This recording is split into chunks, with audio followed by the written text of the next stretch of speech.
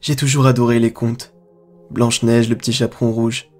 Et même maintenant, je continue de les lire encore et encore. Les histoires, je les connais par cœur. À tel point que je serais capable de reconnaître la moindre référence à ces contes dans les films, les livres et les faits divers. Vous seriez surpris du nombre de faits divers qui peuvent rappeler une de ces histoires. Je me suis amusé à les collectionner. Ça peut aller du truc complètement bête. L'histoire d'un type qui a réveillé sa copine dans le coma, juste après l'avoir embrassée, aux choses les plus morbides qui soient. Comme ce chasseur, qui pris d'une crise de folie a tiré à plusieurs reprises sur une petite fille avec son fusil de chasse, avant de l'attacher à un arbre, pour la donner à manger au loup qui rôdait dans les parages, et ainsi faire disparaître son crime. De tous ces faits divers peu connus, un en particulier a retenu mon attention. Une série de crimes irrésolus qui m'ont poussé à enquêter de mon côté, malgré les menaces de la police. Le meurtrier est un fou que j'ai surnommé Peter Pan. Vous connaissez tous Peter Pan, je suppose. Ce jeune garçon égocentrique venu du pays imaginaire, Neverland pour les anglophones, et qui refuse catégoriquement de grandir. Il refuse de grandir, oui, mais il empêche aussi tous les enfants de Neverland de grandir. Et le plus souvent, il les en empêche en les tuant, car grandir est contraire au règlement. Le jeune Peter Pan a aussi tendance à oublier beaucoup de choses, ses anciens amis, ses ennemis. C'est un jeune homme qu'on dit sans cœur, sans compassion, un sociopathe en quelque sorte. Tout comme notre assassin. Si cette affaire m'a interpellé, et que j'ai nommé notre assassin Peter Pan, c'est bien parce qu'elle fait écho au roman sur de nombreux éléments. Tout commence en 1997 dans un petit village de Bretagne. Une petite fille du nom de Marie, seulement âgée de 4 ans, disparaît durant trois jours et trois nuits, avant d'être découverte endormie sur un banc, à moitié dévêtue, et avec le message suivant sous sa robe. Je viendrai te chercher. À son réveil, la petite fille n'a aucun souvenir de ce qui s'est passé durant ces trois jours, et les médecins préconisent de ne plus parler de tout ça à l'enfant pour éviter tout choc psychologique possible. L'enquête ne donne rien. Il faut attendre deux mois pour que se produisent quatre nouveaux enlèvements, dans les régions du Nord-Pas-de-Calais et de la Bretagne. Un seul des jeunes enfants sera retrouvé, et de la même manière que la jeune Marie, dénudée, et endormie avec le même message glissé sous son t-shirt. Pour tous les enfants qui seront retrouvés, les médecins préconisent de ne plus leur parler de tout ça. Entre 1997 et 2003, ce seront 15 enfants âgés de 4 à 8 ans qui disparaîtront sans laisser de traces. 5 seront retrouvés dans les jours à venir, et les 10 autres réapparaîtront en 2013. Ces 10 auront eu moins de chance que les autres, car alors que l'enquête repartait suite à un mystérieux appel anonyme, la police a découvert dans une forêt leur corps entassé dans une fosse commune. Grâce à un soin particulier apporté aux cadavres, ces derniers étaient conservés dans le même état que le jour de leur mort, habillés et coiffés de la même manière que lorsqu'ils avaient été enlevés. Il y a pour certains 16 ans de cela. Les autopsies ont révélé qu'ils avaient été assassinés lorsqu'ils avaient atteint l'âge de 18 ans. La plupart auraient reçu de nombreux coups de couteau à l'abdomen ou auraient été égorgés. Un a même été retrouvé avec un yo-yo enroulé autour du cou et serait ainsi mort par strangulation. Les autopsies ont aussi révélé que les enfants avaient été drogués durant toute leur captivité, sans doute pour les garder dociles. Non loin de la fosse, les policiers ont découvert une vieille scierie abandonnée, à l'intérieur de laquelle s'entassaient des tonnes de jouets en tout genre, des bocaux avec des friandises, ainsi que les squelettes de deux personnes adultes, et le corps d'un chien. Sûrement une référence aux parents Darling et aux chiens du roman. Mais, ce qui me taraude le plus, c'est de connaître l'apparence physique du meurtrier. À quoi peut-il bien ressembler? Je ne peux me l'imaginer qu'avec un visage juvénile, et avec les mêmes habits que la représentation habituelle de Peter Pan. J'ai alors mené mon enquête, en recherchant des témoignages pouvant m'aider à me faire une idée de ce à quoi il ressemblait. Mais malheureusement, à part de trois familles, je n'ai trouvé aucun témoignage. Les enlèvements se faisaient principalement la nuit à l'intérieur même du domicile des victimes, et personne ne voyait rien, n'entendait rien. J'en venais même à penser que nous avions vraiment affaire à ce cher Peter. Voici donc les témoignages des trois familles, qui sont relativement troublants. Nous avions couché Sébastien environ 22 heures. Puis avec mon mari, nous sommes retournés au salon voir la fin du film. Quelques minutes après, mon mari a entendu un bruit venant de la chambre de notre fils. La fenêtre s'était ouverte. Il a refermé et il est revenu. Vingt minutes plus tard, j'ai entendu comme un léger sifflement. Si léger et court que j'ai d'abord pensé à un acouphène. Puis il y a eu un second sifflement plus fort cette fois-ci. Instinctivement, mon mari et moi nous nous sommes regardés interloqués. Ça venait bien de la chambre de notre fils. Nous sommes allés le voir et il avait disparu. On habite au cinquième étage d'un immeuble. Ces deux derniers nous en disent plus sur l'identité du coupable. Elle s'est réveillée dans la nuit, après avoir senti un léger souffle frais sur sa nuque. Elle a ensuite entendu un léger sifflement et s'est retournée vers la fenêtre. Elle était grande ouverte. Elle a allumé sa petite lampe de poche et s'est approchée pour fermer la fenêtre. C'est alors qu'elle a soudainement vu la tête d'un jeune garçon étrangement blanc, lui souriant de toutes ses dents, les yeux complètement exorbités. Elle s'est mise à crier et s'est cachée sous ses draps. Les cris nous ont alertés, et quand elle m'a tout raconté, je me suis tout simplement dit qu'elle avait rêvé. Mais, un jour plus tard, elle avait disparu. Et enfin Il a commencé à, à nous parler de son ami imaginaire deux jours avant sa disparition. Il nous disait qu'il venait la nuit sans faire de bruit et qu'il se glissait dans la chambre pour réveiller notre fils. Il faisait grincer les planches du parquet. Une fois réveillé, il nous a dit qu'il discutait en silence, puis que l'étrange garçon lui a demandé au bout d'un moment de venir avec lui. Mais il ne voulait pas. Alors il a disparu en faisant des bruits étranges. Notre fils l'a même dessiné. Sur le dessin, on voit un homme habillé en vert, salué de la main, les yeux ronds, un sourire jusqu'aux oreilles. Et sur un autre dessin, on voit l'homme tenant par la main une petite fille. Voilà. C'est tout ce que je sais sur cette affaire pour la moins étrange, qui, depuis presque deux ans, n'a plus aucune nouvelle disparition ou réapparition morbide à son actif. J'ai essayé de contacter les enfants qui étaient revenus vivants de tout ça, mais je n'ai toujours pas eu de réponse. Est-il venu pour les rechercher?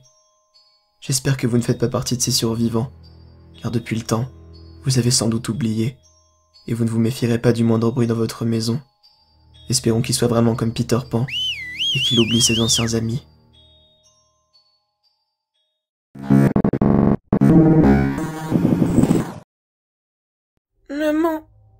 J'ai peur. Quand vous êtes mère, entendre ces mots sortir de la bouche de votre enfant vous déchire le cœur. D'autant plus quand vous êtes tout aussi terrifié que lui. Doit faire maintenant plus de trois semaines qu'on est cachés dans la cave tous les deux, et que ces monstres sont à l'étage. Je repense encore à leur arrivée dans la maison. C'était au petit matin. Je me souviens les avoir entendus essayer de forcer la porte depuis ma chambre, et m'être aussitôt mise à paniquer. Je me suis empressée d'aller réveiller mon fils, je l'ai pris dans mes bras, et je l'ai emmené. Puis, on est allé s'enfermer dans la cave. La porte était pourtant fermée. Elle l'avait toujours été. Et personne ne venait nous déranger habituellement. On vivait isolé. On ne sortait pas et on ne recevait jamais de visiteurs. Et si notre âme venait jeter son dévolu sur notre maison, c'était forcément mauvais signe. Comment avait-il pu nous trouver? On vivait dans la tranquillité la plus prospère. On ne connaissait personne, et personne ne nous connaissait. Maman, combien de temps ils vont rester ici? Je ne sais pas, mon ange. Essaie de dormir. Alors que mon fils s'endort dans mes bras, je redouble de vigilance. J'entends le bruit de leurs pas feutrés au rez-de-chaussée. Mais je sais qu'ils n'ont pas encore trouvé notre cachette. Mais pour combien de temps? J'ai fermé la porte de la cave. Mais un seul coup de pied à droite suffirait à la faire sauter au vu de sa fragilité. Ils sont terrifiants. Je les ai vus. Vous savez, je n'ai jamais été très courageuse. Pourtant, pour mon enfant, je serais prête à tout braver. Il y a trois jours de ça, nous avions épuisé toutes les réserves de nourriture que je gardais au sous-sol, en prévision de ce genre de situation. Et n'entendant plus leurs pas fugaces faire grincer le parquet passé 23 heures, j'en avais donc conclu que ces créatures dormaient la nuit. Et un soir, prenant mon courage à deux mains, j'étais montée pour aller nous rapprovisionner. J'ai été surprise de voir qu'ils n'avaient pas découvert où j'avais caché nos vivres. Je me suis ensuite attardée sur leurs provisions à eux, et tous leurs aliments semblaient être emballés, recouverts par je ne sais quoi. Ça n'avait rien de normal. Est-ce qu'ils les mangeaient comme tels C'est ce soir-là que j'en ai vu un. J'étais pourtant persuadée que ces bêtes vivaient le jour. Pourtant, alors que je remplissais mon sac avec de la nourriture, j'ai entendu un grincement derrière moi. Je me suis retournée pour me retrouver nez à nez avec l'un d'entre eux. Ça semblait être très petit. Celui-ci devait être jeune. C'était le premier que je voyais de mes propres yeux. Quand j'étais petite, ma mère me racontait d'horribles histoires sur eux pour me terrifier. Elle me disait que ces choses avaient quatre pattes, mais ne se tenaient debout que sur deux d'entre elles. Elle disait qu'au bout de chacune de celles-ci se trouvaient cinq excroissances, et qu'ils avaient une bouche, dans laquelle on pouvait remarquer une absence de seconde mâchoire inférieure, qui les faisait paraître à la fois abrutis et à la fois terrifiants. Elle n'avait pas menti. Ces choses existaient vraiment, et j'en avais une en face de moi. Lorsqu'elle a remarqué ma présence, elle s'est mise à crier. J'ai crié à mon tour. Je pense avoir effrayé, car elle s'est aussitôt mise à agiter ses mains horriblement petites avant de s'enfuir pour repartir d'où elle était venue. De mon côté, je n'ai pas cherché à rassembler plus de choses. Je me suis également empressée de redescendre à la cave pour rejoindre mon fils. Tout va bien, mon cœur. Me voilà. J'ai ouvert mon sac de provisions et j'y ai jeté un lapin entier à mon petit chérubin, qui n'en a fait qu'une bouchée. Décidément, je ne comprendrai jamais cette coutume humaine de dévorer la viande morte. Je vois bien que ce repas console mon enfant. Son antenne frétille et sa queue remue dans tous les sens. Ça fait du bien de le voir comme ça.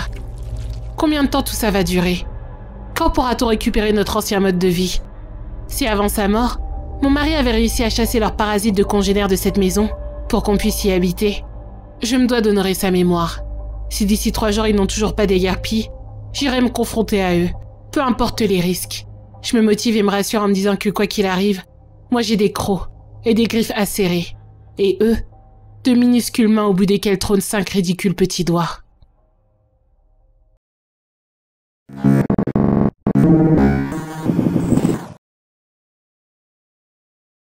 J'ai une histoire assez flippante à vous raconter. Elle est pas longue, vous inquiétez pas. Je pense que mon ami n'aimerait pas que je vous la partage, mais je peux pas la garder pour moi. Elle est tellement folle. J'avais un ami appelé Marc. Il avait le bras gauche atrophié, et son oreille gauche elle aussi était mal formée. C'était pas un accident ni rien, c'était vraiment de naissance.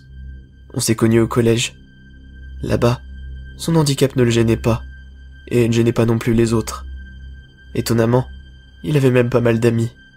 Lui et moi, on était tous les deux à fond sur le métal, et on s'est vite mis à traîner ensemble, même en dehors des cours. On allait souvent se poser vers le chantier vu qu'on habitait près de la Garonne. On s'intéressait vite fait au satanisme, plus parce qu'on trouvait ça cool que parce qu'on voulait sacrifier des chèvres. On essayait des rituels plutôt nuls, du genre allumer des bougies noires et dire trois fois Satan. Des trucs de gamin, quoi.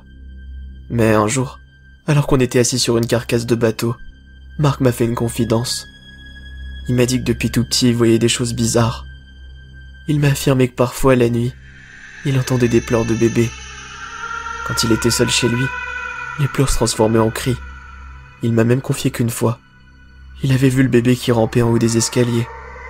Mais quand intrigué, il était arrivé en haut des marches, le nourrisson avait disparu. J'y croyais qu'à moitié sans mentir. C'était cool mais un peu tiré par les cheveux. Mais j'ai décidé de lui faire confiance parce que c'était mon ami et, que j'étais vraiment curieux. À cette époque, je dormais souvent chez lui. Et un soir, Marc s'était réveillé en pleine nuit avec l'impression qu'on lui mordait violemment le bras gauche, celui qui était atrophié. Il m'avait dit qu'il avait entendu des pleurs, et qu'aussitôt, son bras était devenu douloureux. Personnellement, je dormais très bien avant qu'il se réveille, et je n'avais rien entendu du tout. Je lui ai plusieurs fois conseillé d'en parler à ses parents, mais il n'a jamais voulu. On s'est un peu perdu de vue vers nos 14 ans. Il est parti dans un collège privé. On se voyait occasionnellement dans le village, mais c'était moins drôle. Il avait l'air fatigué, déprimé. Il me disait qu'il ne dormait presque plus, que son bras et son oreille étaient douloureux, qu'il avait l'impression qu'on les mâchait toute la journée. Après la troisième, on ne s'est plus vu du tout. Il a déménagé dans l'Est et je suis resté dans la Garonne. Mais il y a six mois, je suis retombé sur son profil Facebook et on a repris contact. On a 25 ans maintenant, et on a pas mal parlé de nos vieux souvenirs. Il a effectué une chirurgie de l'oreille vers 23 ans. C'est bluffant. Elle est complètement normale à présent. En revanche, son bras n'a pas changé d'un pouce. Je lui ai reparlé de ses douleurs au bras et à l'oreille, et je lui ai demandé si ça allait mieux. Il m'a dit que oui. Et il m'a appris autre chose d'assez déconcertant. Vers 22 ans, il avait fait le tour des médecins. Tous lui avaient dit que ses douleurs n'avaient aucune cause physiologique que c'était purement somatique. Désespéré, il était même allé voir un magnétiseur. D'après ce qu'on dit, ce serait efficace pour les gens dans ce genre de cas. Le gars l'a touché et bref, il a fait ce que font les magnétiseurs. Marc a cessé d'avoir mal, et ce n'est jamais revenu. Le magnétiseur avait clos la séance en le disant de demander la vérité à sa mère. Le pauvre a été surpris, mais il l'a fait. Il m'a dit qu'il ne savait pas vraiment quoi lui demander, quoi lui dire. Alors il lui avait simplement demandé de lui dire la vérité. Sa mère avait fondu en sanglots et lui avait avoué l'existence d'un frère jumeau. Lorsqu'ils étaient encore dans le giron maternel, ce frère avait commencé à prendre le dessus sur mon ami. Il le grignotait peu à peu. Son bras n'ayant pas pu se développer complètement à cause de ce frère qui, à terme, l'aurait dévoré. C'est quelque chose de rare mais qui existe. Le cannibalisme intra-utérin. Un jumeau assimile l'autre, le consomme en d'autres mots. Mais pendant la grossesse, le jumeau qui dévorait Marc était mort, et on avait dû le retirer.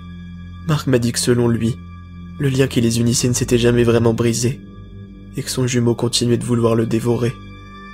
J'avoue que j'ai eu quelques frissons quand j'ai fait lien avec ce que Marc m'avait raconté au chantier naval, sur ce qu'il entendait, voyait et ressentait.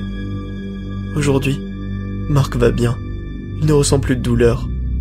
Mais, il lui arrive parfois, selon lui, d'entendre des pleurs de bébé venant de nulle part.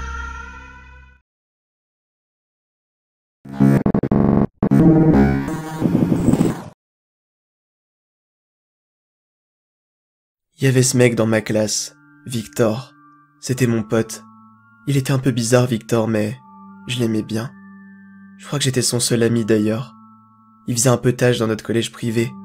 Il fumait de la drogue à la sortie des cours, ne parlait pas au professeur, et on ne voyait jamais sa famille. Mais il était sympa. Il me laissait essayer son vélo tout-terrain. Il me lisait des poèmes qu'il écrivait, et on parlait des filles. Bref, c'était cool avec lui. Je crois que les gens ne venaient pas lui parler à cause de sa manie de ne jamais enlever ses écouteurs. Sérieux, il passait son temps avec sa musique vissée aux oreilles, même en cours, caché dans sa manche. C'était assez perturbant car il ne les enlevait même pas pour parler. Mais moi je m'en foutais. Je l'aimais bien, Victor. Un soir, après les cours, il m'avait invité à dormir chez lui. J'étais assez content car c'était une première pour moi. Et je n'avais jamais vu sa maison. Elle était en fait carrément normale, et même plutôt jolie. C'était un truc plutôt incohérent avec l'univers de Victor. Mais c'était sympa comme baraque. On en avait fait le tour ensemble. Ses parents étaient pas là, mais il y avait sa petite sœur Marjorie, qui avait pas plus de cinq ans, je dirais. Elle ressemblait un peu à Victor, très timide et les yeux dans le vide. Elle m'avait même pas dit bonjour. On s'était endormi dans la chambre, qui, elle, paraissait bien plus en accord avec sa personnalité. À un moment de la nuit, Victor était sorti de la chambre et m'avait réveillé. Il n'avait rien remarqué, alors j'avais pris son téléphone, histoire de répondre à une question qui me taraudait depuis que je l'avais rencontré pour la première fois. La musique qu'il avait dans ses écouteurs toute la journée. Le premier truc bizarre, c'était le titre des morceaux. Il y en avait une petite centaine. Elle durait entre 5 et 10 minutes, mais aucune mention de l'artiste. Ça ressemblait à ça. Record 65. Record 66. Marjorie 3. Marjorie 4. Je voyais pas ce que sa petite sœur avait à faire là-dedans mais j'ai quand même écouté du coup, par curiosité. C'était pas de la musique. C'était des cris, des supplications, des pleurs, des centaines de cris enregistrés et sauvegardés sur son téléphone. C'était ça qu'écoutait Victor en boucle, toute la journée. J'ai jamais autant flippé de ma vie. Les cris provenaient tous de la même voix, enfantine et féminine. On aurait dit celle de sa petite sœur. Je me suis enfui de chez lui en courant, avant qu'il ne revienne. Le lendemain, J'étais revenu en cours, encore peu sûr de ce que j'avais vécu. Victor était là aussi. Il n'était pas venu me parler, et moi non plus. Il était resté à sa place habituelle, en écoutant sa musique, les yeux dans le vide. Pourtant, je l'aimais bien moi, Victor.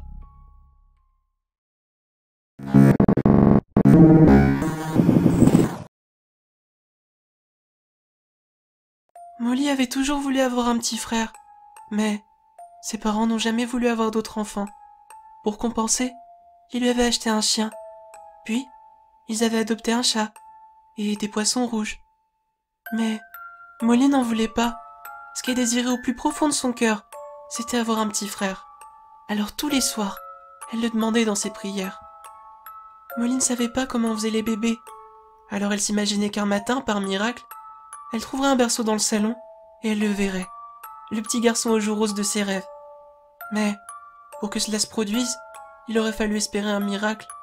Et, après l'avoir de nombreuses fois demandé dans ses prières du soir, sans succès, Molly commençait à désespérer. Mais, vous savez, parfois les rêves se réalisent. C'est pour ça que je suis apparu. Je suis le petit frère de Molly. J'ai toutes les caractéristiques qu'elle souhaitait. De grands yeux verts, des boucles dorées et des joues roses. Molly voulait un petit frère avec qui elle pourrait jouer. Elle ne voulait pas d'un bébé. Et ça tombe bien, j'ai six ans. Je suis dans sa chambre. J'attends tapis dans l'ombre d'un coin de la pièce qu'elle se réveille et qu'elle me voit. Je suis sûre qu'elle va être heureuse.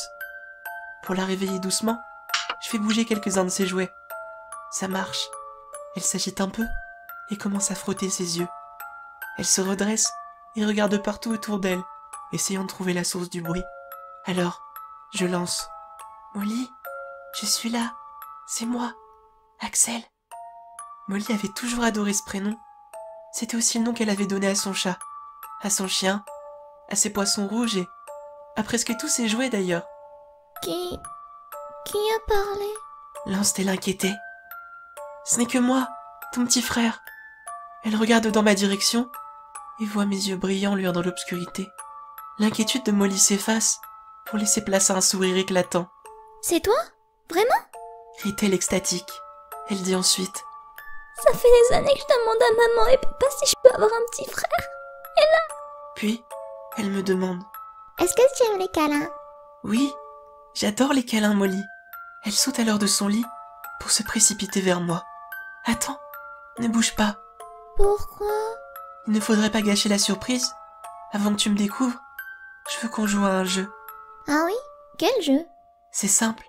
Tu vas fermer les yeux et je vais m'approcher. Ensuite, tu vas toucher mon visage et essayer d'imaginer à quoi je ressemble. D'accord? D'accord. Je viens alors me placer devant elle. Elle passe une main dans mes cheveux. Tu as des boucles Des boucles d'or? Oui. Elle pose ensuite une main sur mes joues. Tu as de grosses joues. Des joues roses. Oui, Et tes yeux sont verts? Oui, bien deviné. Puis, elle descend ses mains jusqu'à mon cou écailleux. À ce moment, je peux percevoir une perplexité dans son expression. De la peur peut-être? La tête qu'elle tire en se saisissant de mes bras maigres, puis de mes mains aux longs doigts surplombés d'ongles aiguisés, me fait penser que je ne suis pas exactement comme ce à quoi elle s'attendait. Tu as de grandes mains? Mhm. avec des ongles pointus. Je commence à saliver. J'ouvre la bouche très grand, assez pour la gober tout entière. Elle sent mon haleine putride, et là, elle dit Tu as une grande bouche. Bien joué. Je fais un énorme croc dans son bras. Ce que Molly ne savait pas, c'est que les petits frères sont ingrats. Toujours. Tout particulièrement quand ils viennent du monde des ombres. Elle voulait un petit frère, oui. Mais moi, s'il y a quelque chose dont je rêvais depuis des années, c'était bien de dévorer une grande sœur. Mais, quelque chose cloche. Molly saigne bien, mais aucun cri de douleur. Ce n'est pas habituel. Normalement, ils sont terrifiés, et certains mouillent même leur pyjama à ce moment-là. Ensuite, j'en profite et je les dévore entièrement. Mais Molly, elle, n'a pas bougé d'un pouce. Son regard est vide, noir. Je suis perplexe. Puis, elle lance d'un ton solennel, J'aime pas trop ce jeu. D'ailleurs, j'ai pas du tout envie de jouer avec toi. et en me regardant fermement, elle dit, J'ai bien trop faim pour ça. puis, elle ouvre la bouche à son tour. Il s'en voir des dents aiguisées, bien plus nombreuses, inégales et longues que les miennes. Et elle me mord le cou de plein fouet. Je n'ai jamais ressenti une pareille douleur, et je n'arrive plus à bouger. Mais, Molly, c'est, c'est moi, Axel. Tu, tu voulais un petit frère, non? Dis-je dans un dernier espoir qu'elle me laisse m'enfuir. Oui, j'en voulais un. Des années que j'en demande un. Mais mes parents ne veulent pas que je le mange. Si ça avait été une petite sœur, j'en aurais fait une princesse. Mais le goût d'un vrai petit frère aux joues roses, ça doit être incroyable. T'es pas un vrai petit garçon, mais bon, c'est pas grave. On fera avec. J'ai tellement faim. dit-elle, avant d'ouvrir grand son énorme bouche.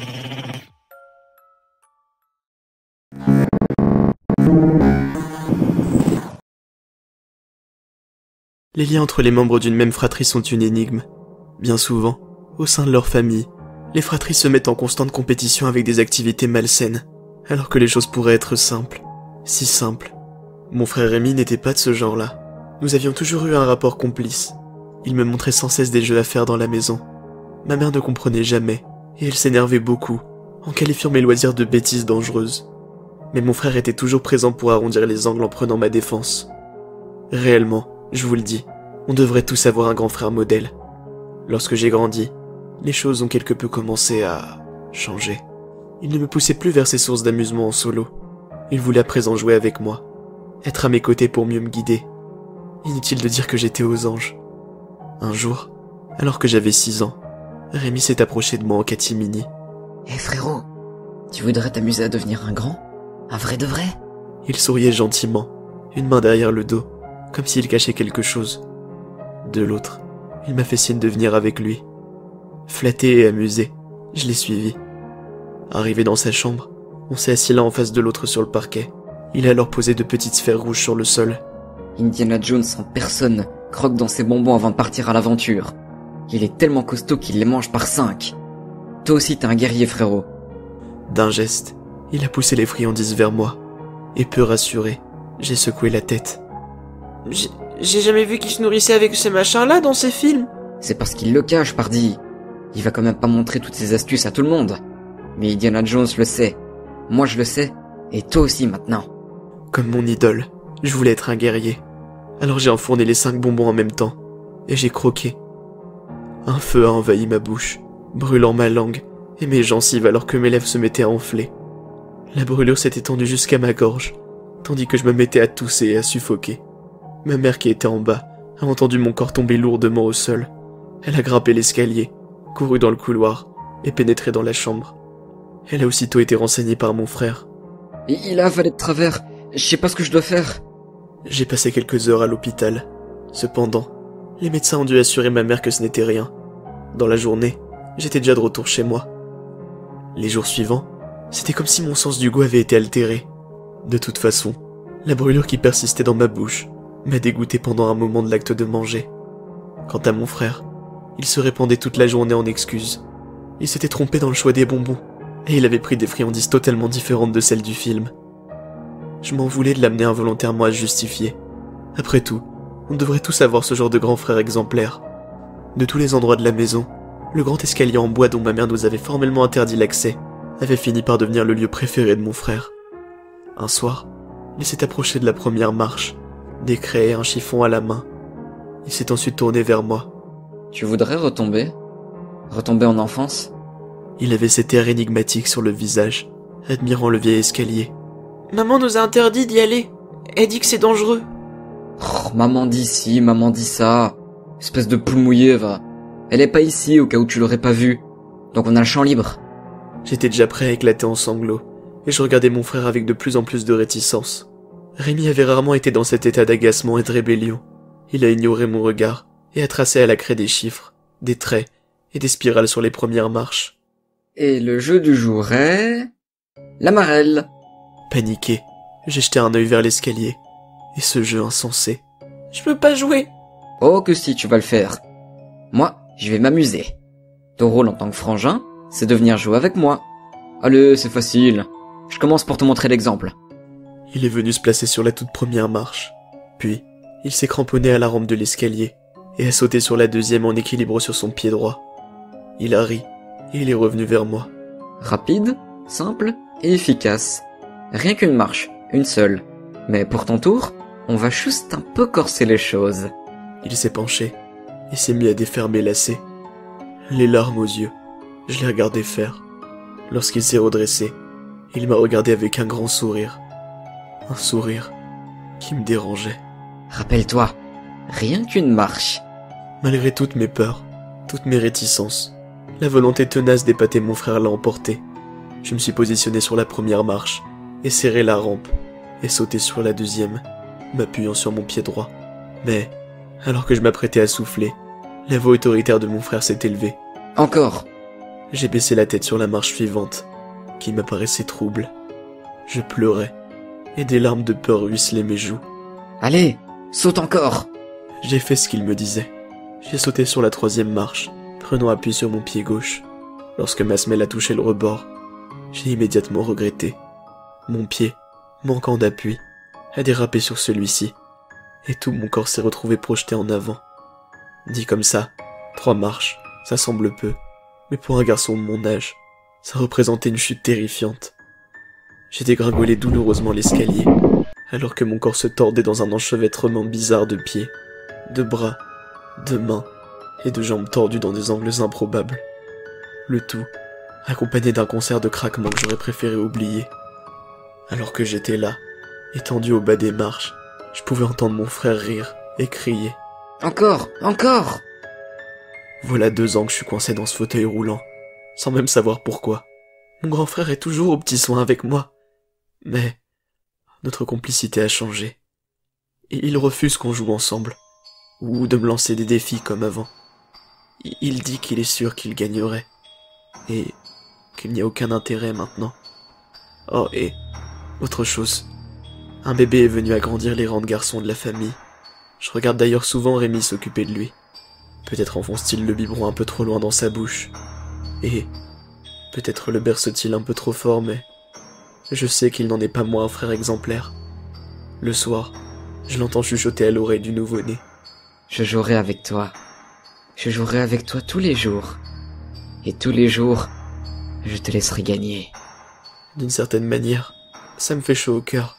Ce petit aura une chance phénoménale de pouvoir jouer avec un tel frère, comme j'en ai moi-même eu. J'espère que vous aussi, vous avez un Rémi, un grand frère dans votre famille. Je vous le souhaite à tous, de tout cœur. Après tout, on devrait tous avoir un grand frère pour modèle.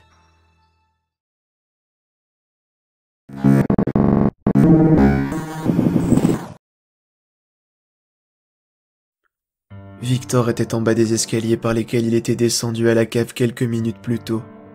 Il leur fit face, prêt à les remonter. Oh, il les aurait tous montés d'un bond, ou il aurait volé jusqu'en haut si seulement il avait pu. Ce garçon avait assisté à beaucoup d'événements étranges depuis que sa famille avait déménagé dans cette maison. Il avait cru sa mère quand elle lui avait dit que les murmures qu'il entendait la nuit étaient les meubles qui craquaient, et qu'il ne fallait pas s'inquiéter. Il avait cru son père quand il lui avait dit que les visages dansants qu'il voyait sur les murs de sa chambre étaient la lumière des phares des voitures qui passaient dans la rue, et non pas des esprits se moquant de lui. Mais Victor n'était jamais redescendu à la cave depuis qu'on y avait fait des travaux. C'était une première pour lui. Mais aucun risque? Non. Ses parents l'avaient déjà fait plusieurs fois. Alors pourquoi tremblait-il autant? Des hommes étaient venus dans la maison quelques jours plus tôt ils avaient retiré les vieux escaliers vers la cave, dans l'intention d'en refaire des nouveaux quand celle-ci serait terminée. Et pendant ce temps, ils avaient placé des marches en bois solidement clouées au mur. Victor n'avait pas peur de tomber. Non, ces planches étaient très solides. Ce qui l'effrayait, c'était l'espace qu'il y avait entre elles. T'as vraiment les mêmes réactions que le chien, disait sa mère. Elle avait raison. Depuis que les escaliers avaient été enlevés, le chien ne descendait plus. Il essayait quelquefois, mais arrivé à la troisième marche, c'était toujours la même chose. Il regardait vers le bas et couinait avant de remonter aussitôt les escaliers. Et après cela, il était complètement effrayé pendant au moins une heure et poussait des gémissements. C'est parce qu'il y a quelque chose en dessous, avait dit Victor à sa mère. Lors de la descente vers la cave, entre les marches, il avait senti de la chaleur, comme une haleine qui suintait à travers ses ouvertures. Au moment de les remonter, il n'osa pas regarder entre ces espaces, et après une course folle, Victor arriva dans la cuisine. Il avait réussi. Mon Dieu, dit sa mère. Elle était devant la fenêtre et ouvrait les rideaux. La lumière du soleil entra dans la pièce. Elle ne remarqua pas les joues rouges de Victor, et encore moins le fait qu'il haletait. Elle examina ce qu'il lui avait rapporté de la cave. J'ai dit des mouchoirs, pas du papier toilette. Retourne dans la cave, dit-elle agacée. Victor avait appris en cours de science qu'il n'y avait rien de plus puissant que l'instinct de protection d'une mère pour son enfant. Sa mère à lui avait visiblement passé le plumeau sur cet instinct. Victor déglutit et terrifié, il tourna les talons et redescendit les escaliers de la cave, haletant et le cœur battant à une vitesse folle. Pourquoi lui infligeait-on cette punition? Il n'avait rien fait de mal. Mais il fallait se ressaisir. Il n'y avait rien dans cette maudite cave n'est-ce pas? De son côté, la chose derrière les escaliers roula sa tête sur son cou fin, semblable à une corde. Elle cligna des yeux alors que la porte s'ouvrit au-dessus d'elle, et que la lumière, encore presque inconnue pour elle, rencontra ses yeux. Elle n'avait jamais pensé que l'enfant reviendrait si tôt. De toute façon, elle était prête et affamée. Alors que l'ombre du petit garçon et son odeur descendaient les escaliers, la chose se lécha les babines et passa sa main à travers l'espace ouvert d'entre les planches. La fine cheville du petit garçon arriva à sa portée, et ce soir-là, la chose de la cave, comme il m'appelait, profita d'un festin des plus divins.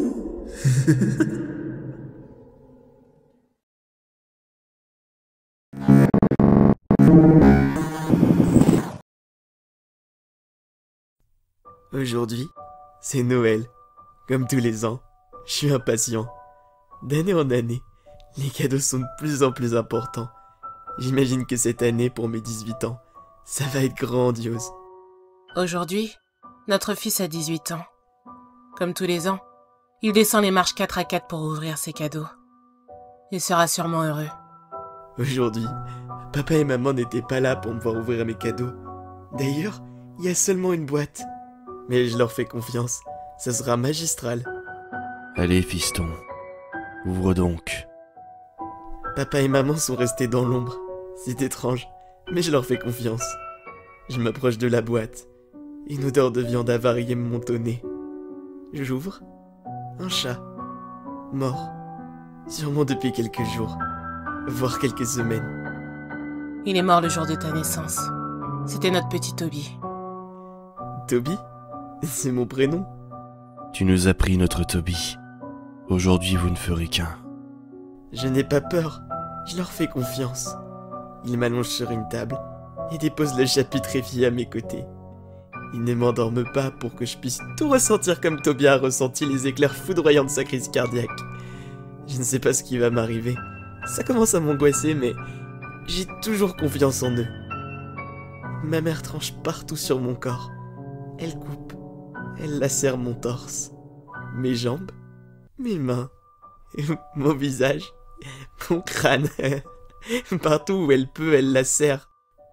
Maintenant, je suis couvert de coupures, le corps lacéré par le coupe-chou de ma mère. J'ai mal, et Toby baigne dans mon sang, autant que je m'y baigne. Ma mère murmure quelques paroles insensées pendant que mon père tient un livre devant elle. Livre qui, il me semble, est en feu. Malheureusement, je ne peux rien distinguer. Je suis presque dans le coma. Le lendemain, je me réveille, engourdi. J'ai l'impression d'être mort. J'essaie de parler, mais aucun son sort de ma bouche. L'odeur de la chair avariée emplit l'air. J'ai envie de vomir. Je me retiens. Le silence est oppressant. Chez moi, personne. J'essaye de me lever, mais je ne sens pas mes bras, ni mes jambes. C'est comme s'il me restait plus que le torse. Je me demande pourquoi je suis encore en vie. Depuis mon réveil, j'avais à nouveau fermé les yeux. Le soleil m'éblouissait. Je les ouvre enfin. Au plafond, un gigantesque miroir je n'avais jamais remarqué avant.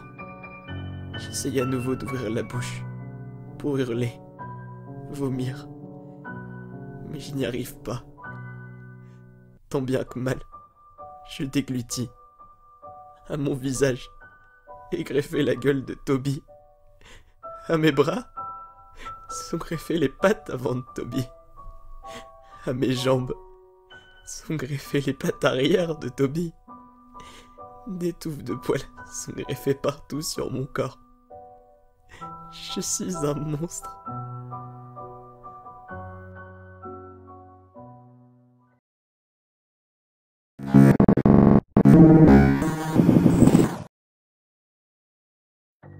Ho ho ho.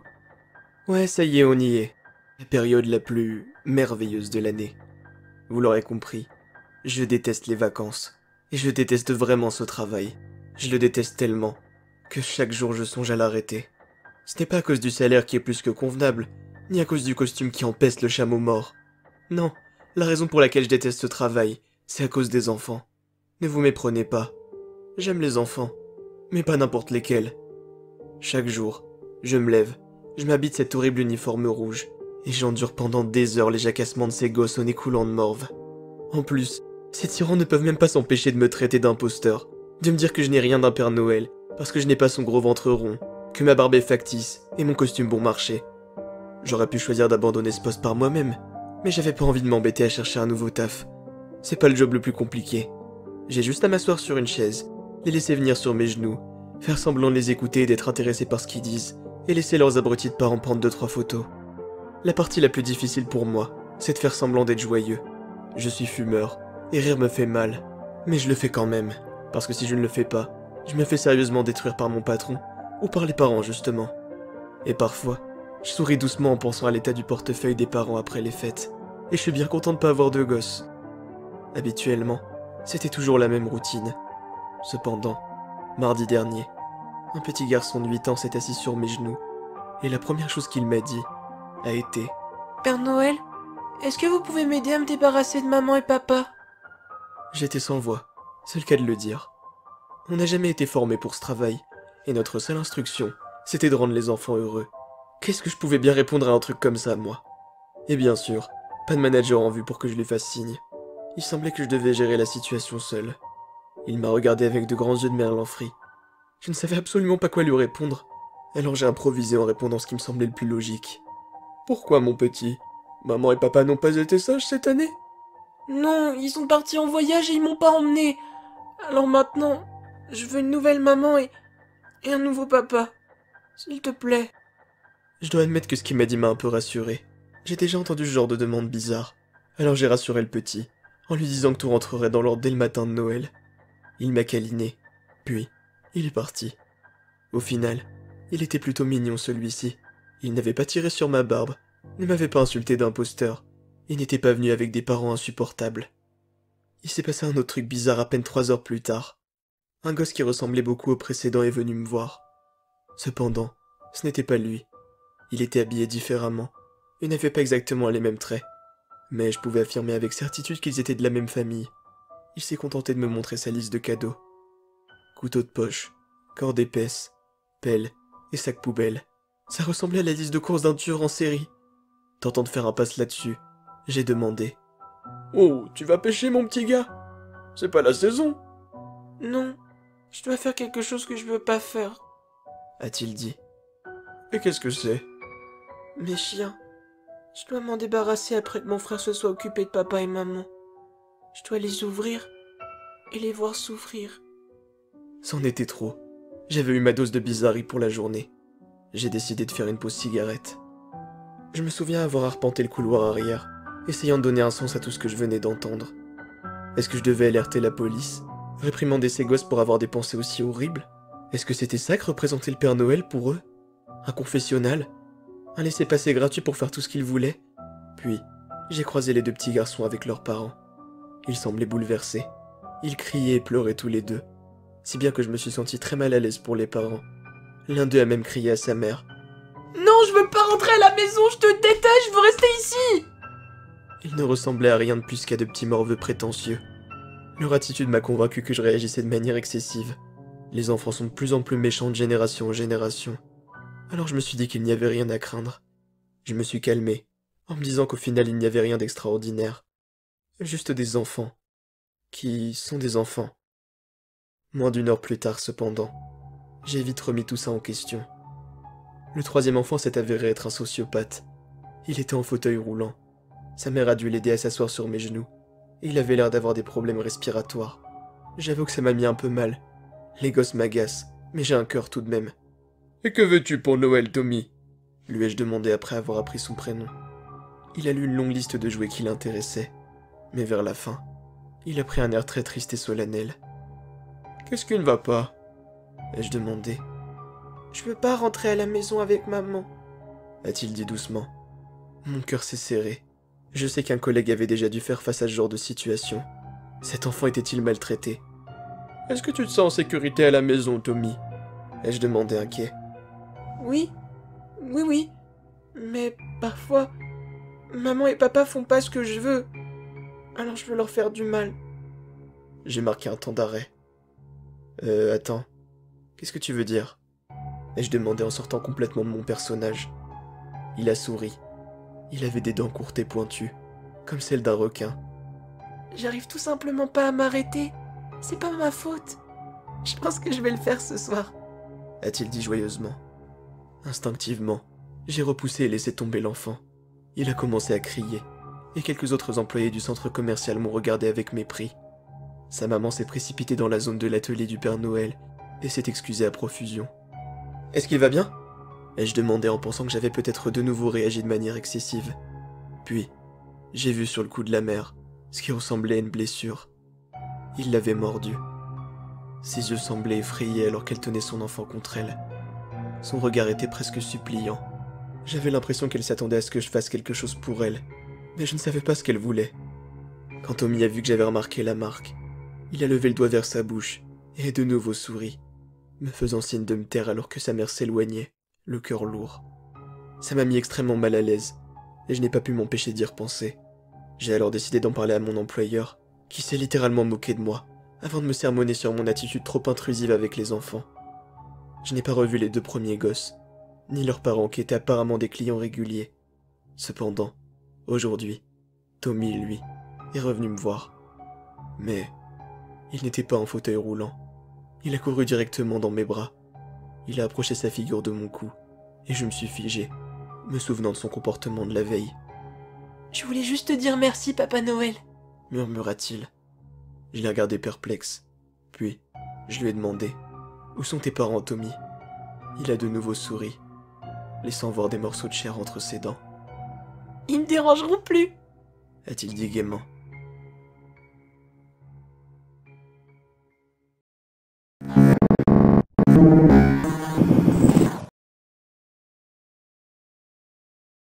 Un couple marié qui venait de rentrer de lune de miel avait décidé d'acheter une maison. Le couple était très heureux, car il avait réussi à obtenir la maison à bas prix. Elle était située dans un quartier agréable, à proximité de la ville et pas très loin d'un centre commercial. Ainsi, peu de temps après l'emménagement, alors que le mari passait dans l'entrée, il a repéré un crayon rouge gisant sur le sol. Le couple n'avait pas d'enfant, alors il s'est demandé d'où venait ce crayon de couleur. Peut-être que les anciens résidents l'ont laissé derrière eux, s'est-il dit en le jetant tranquillement à la poubelle. Le lendemain, le mari est rentré du travail pour trouver un autre crayon rouge posé exactement au même endroit. Perplexe, il a décidé d'en parler à son épouse. Le visage de la femme a pâli instantanément quand il lui a apporté. Elle lui a dit que, chaque jour depuis qu'ils avaient emménagé dans la maison, elle trouvait systématiquement des crayons rouges en faisant le ménage. Ils étaient toujours posés au même endroit, au bout du couloir, Suite à cette discussion, le mari s'est posté dans le corridor et en a fixé le fond, se questionnant sur cet étrange phénomène. Il a alors remarqué quelque chose d'anormal. Le couloir était trop court par rapport à la taille de la maison. L'homme s'est approché et a tapoté sur le mur au bout du couloir, qui lui a rendu un son creux. Curieux, il a commencé à décoller le papier peint, malgré les protestations de sa femme. Derrière ce dernier, se trouvaient deux portes coulissantes. C'était comme si quelqu'un avait soigneusement caché l'entrée d'un placard ou d'une petite pièce. Mais le mari s'est rapidement aperçu que les portes avaient été clouées, comme une sécurité supplémentaire. Il est donc allé se procurer un marteau dans sa boîte à outils et a entrepris d'arracher les clous un à un. Après avoir retiré le dernier clou, il a lentement ouvert l'une des portes pour révéler la petite pièce cachée. En jetant un œil à l'intérieur, le couple s'est aperçu que les murs blancs du petit espace étaient couverts de mots griffonnés au crayon rouge. Les mêmes mots, répétés encore et encore, des dizaines de fois. Je suis désolée, maman. Laisse-moi sortir.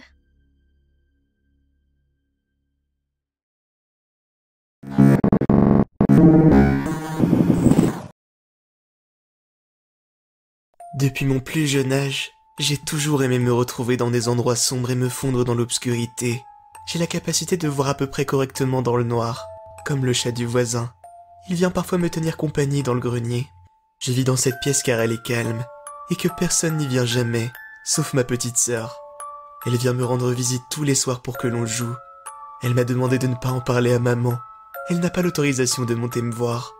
Parfois, quand elle y pense, elle m'apporte quelques animaux morts qu'elle ramasse dans la rue.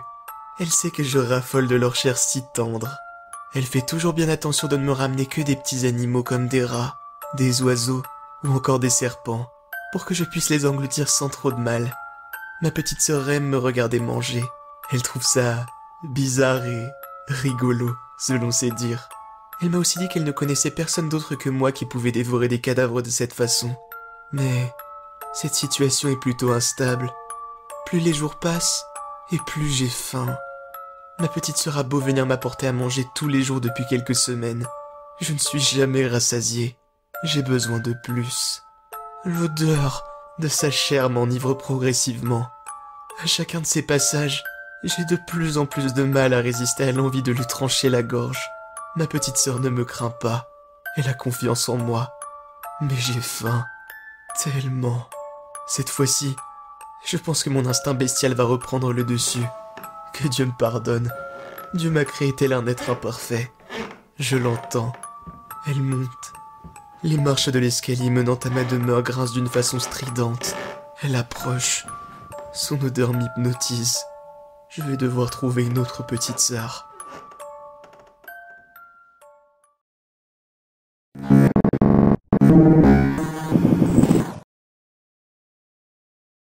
Paul était maintenant réveillé depuis environ deux heures. Il était assis sur son lit et semblait en pleine réflexion. Il n'avait pas beaucoup de temps.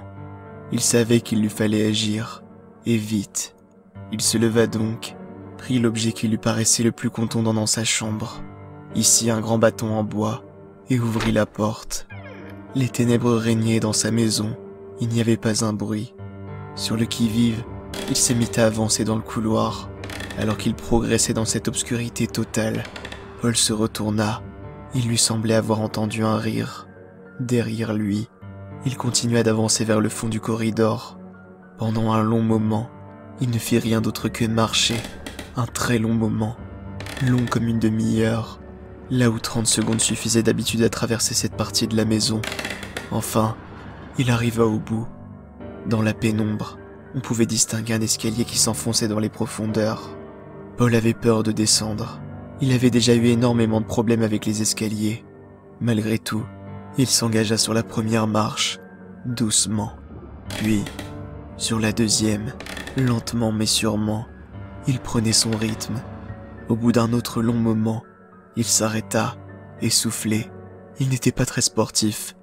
Il s'assit cinq minutes sur une marche et réfléchit.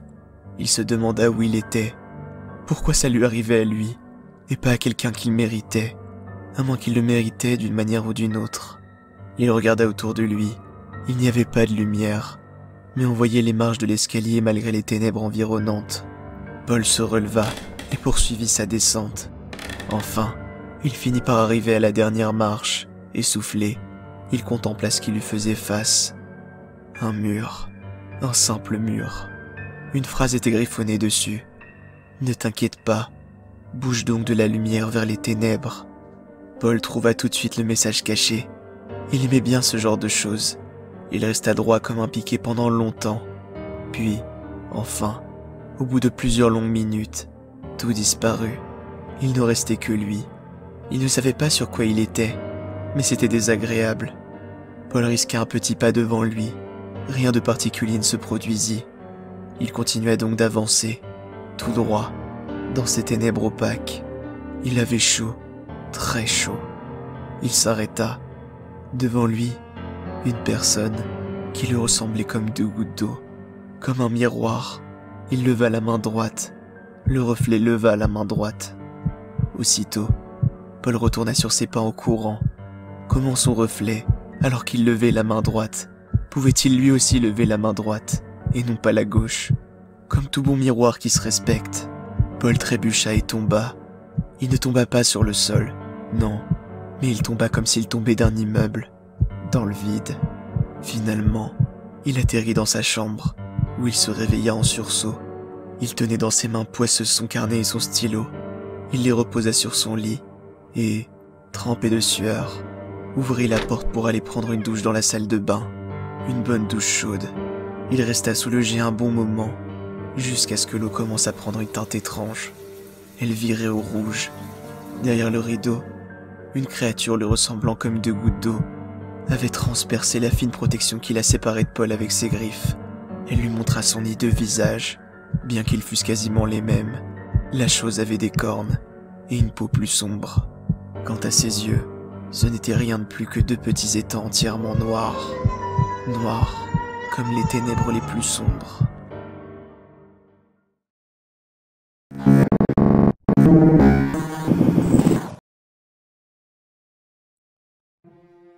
Maman dit qu'on doit croire au Père Noël si on veut des cadeaux. Mais des fois c'est difficile. Comme quand je vois dans le centre commercial, un Père Noël totalement différent de celui que j'avais vu l'année dernière. Et si je pose la question à maman, elle me répond tout le temps de pas parler de ça. Elle me dit que si j'en parle, j'aurai pas de cadeau pour Noël. Et que tout ça fait partie de la magie de Noël. L'année dernière, à la même époque, j'ai emmené ma petite sœur au parc. Je faisais une bataille de boules de neige avec mes copains pendant qu'elle faisait un bonhomme de neige. On a vu le Père Noël ce jour-là. Il est venu vers nous et nous a tous offert des cadeaux. Il a même dit qu'on était tous des gentils petits garçons et filles. Il a aussi dit que le cadeau de ma petite sœur était dans son traîneau car il était trop lourd pour le porter jusqu'ici. Ma sœur est allée avec lui, mais elle n'est jamais revenue. La police nous a posé beaucoup de questions, mais on a tous insisté sur le fait que c'était juste le Père Noël. Grand, tout rond et rouge. C'était tout ce qu'on savait. J'ai eu tellement de cadeaux ce Noël-là. Beaucoup plus que d'habitude. Je suis tellement heureux d'avoir dit à personne que le Père Noël ressemblait beaucoup à notre voisin, Monsieur Wilkins. Et je suis heureux d'avoir dit à personne que j'ai vu ma petite soeur entrer dans son camion bleu, au lieu d'un traîneau. Mais maman m'a dit de ne jamais parler de ce que j'avais vu. C'est juste la magie de Noël. Et, elle dit qu'il faut croire au Père Noël si on veut des cadeaux.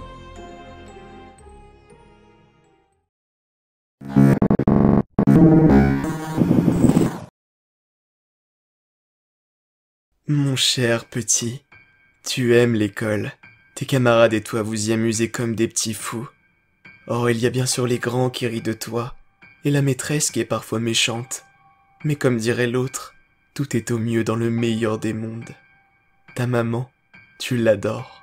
Plus tard, tu voudrais l'avoir pour toi, et toi seul. C'est ta maman et tu l'aimes plus que tout. Il y a la petite Sophie à l'école. Elle est mignonne. Elle a de beaux cheveux blonds. Mais la nuit, oh la nuit, tu as peur. Il y a des bruits. Et même si ta maman regarde partout, tu ne te sens pas en sécurité, seul dans ta chambre. Des ombres, des souffles. À la fenêtre, quelqu'un t'observe. Mais ta maman est là quand tu pleures. Elle te raconte une histoire et tu t'endors tranquillement dans ses bras. Elle t'avait déjà dit que le monsieur à la fenêtre n'était qu'une branche. Elle avait fini par demander à Charles le voisin de la couper, là où se trouvait la balançoire où tu avais joué avec Sophie et où tu avais gravé un cœur un jour d'été. Mais la nuit, oh la nuit, tu as peur. Le monsieur à la fenêtre n'est pas au rendez-vous. Il est dans ton placard. Il te fixe. Il te parle tout bas. Mais tu ne comprends rien. Mais ton nounours et ta couette te protègent. Tout va bien. Mais lui, il te regarde toujours et tout le temps. Ta maman te promet qu'il n'existe pas, mais elle ne semble pas sûre d'elle. Un jour, vous avez déménagé. Oh, pas loin, quelques rues à peine. Tu n'as donc bien sûr pas changé d'école, et donc pas perdu tes camarades. Tu as une grande chambre sans aucune armoire. Tes affaires se trouvent sur des meubles. Et la nuit, tu vois tes Legos et tes autres jouets scintiller tels des petites étoiles dans la pénombre. Et le monsieur a disparu. Totalement. Fini le monsieur qui fait peur. Ta maman en est toute réjouie. Les années ont passé. Tu as 15 ans. Tu traînes avec tes amis et vous voyez les filles d'un autre œil. Sophie Oh, elle a déménagé. Loin. Trop loin. Maintenant, c'est Anne, avec ses cheveux roux bouclés et ses mini-jupes. Tu sors avec elle depuis trois mois déjà. Mais la nuit, oh la nuit, tu as peur.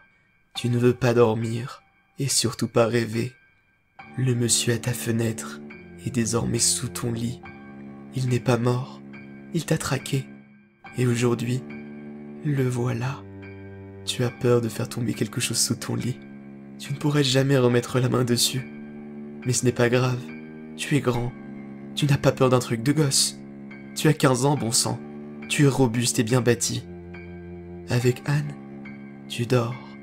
Avec Anne, tu grelottes. Non pas de froid, mais de frayeur. Mais mon petit, j'ai une question. Pourquoi as-tu peur de ton papa?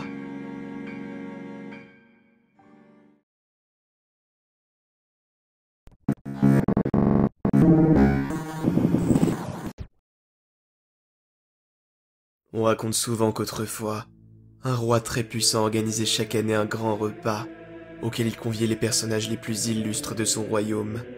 Pour certains, être à la table du roi durant ce repas était une consécration, l'objectif de toute une vie, démontrant à tous une réussite sociale certaine.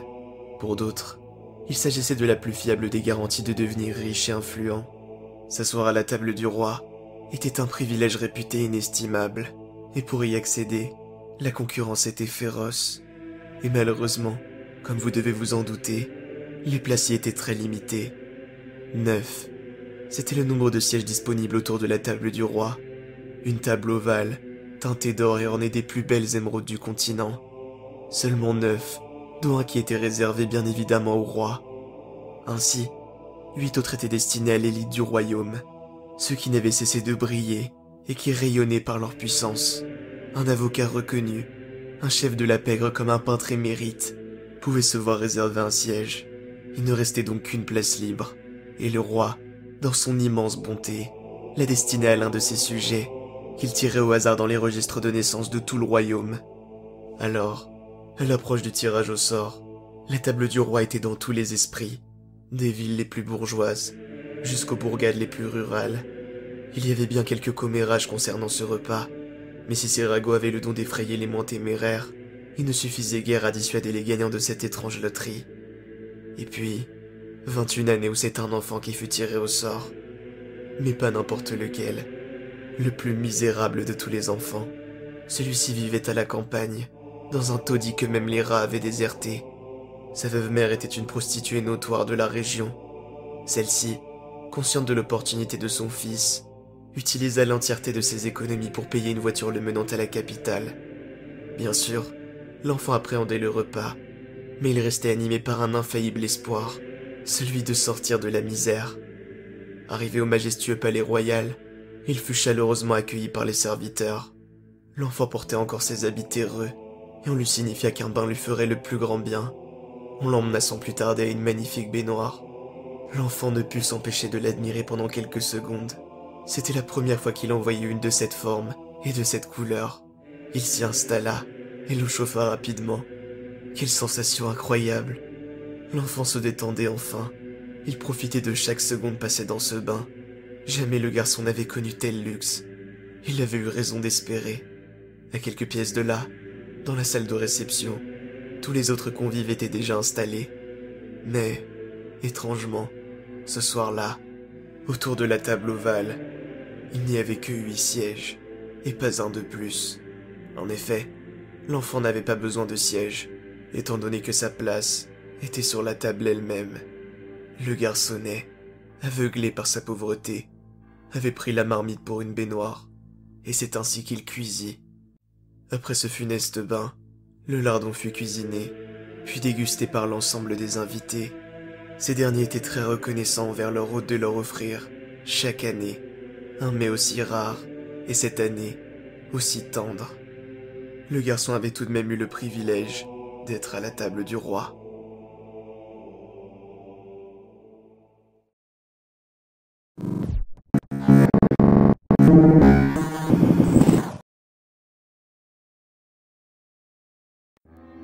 Le son du silence. Après une vie entière à avoir été sourd, mon meilleur ami a eu des implants auditifs. Quand il s'est réveillé de l'opération, nous nous tenions tous autour de lui.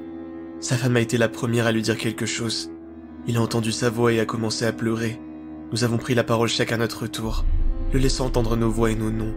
Et à chaque mot que nous prononcions, il devenait plus émotif. Quand nous avons fini, le silence a rempli la pièce. Il s'est tourné vers moi et m'a demandé quel était ce son. Ça m'a pris un moment pour comprendre ce qu'il entendait, et quand j'ai compris, je lui ai dit qu'il entendait le silence. Il a secoué la tête. Ce n'est pas le silence, a-t-il dit lentement, tout en entendant sa propre voix pour la première fois. J'ai entendu le silence toute ma vie, et là c'est différent. Un son est parvenu de l'extérieur de la chambre d'hôpital. Il s'est alors redressé immédiatement. C'est pas ça le silence? Nous avons tous échangé un regard inquiet à travers la pièce avant que je ne parle. Non, ai-je dit doucement. C'était le son d'une personne qui hurle.